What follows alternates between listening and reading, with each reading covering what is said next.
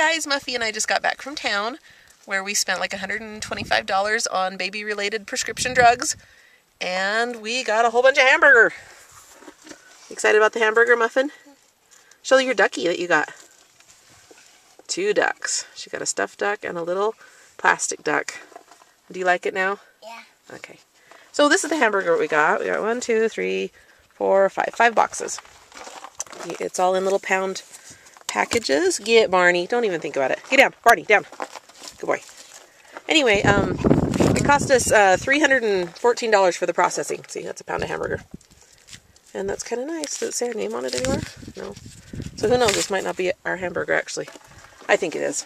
Anyway, um, apparently this was a cow that fell down and broke her leg or something. And what are you going to do with a cow that breaks her leg?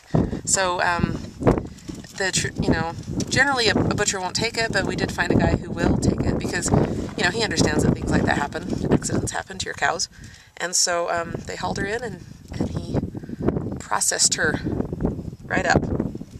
A muffin. Is that exciting? Mom, can I get out? Yes. Let's go in the home in the house. Okay. Can you tell 'em bye? Uh.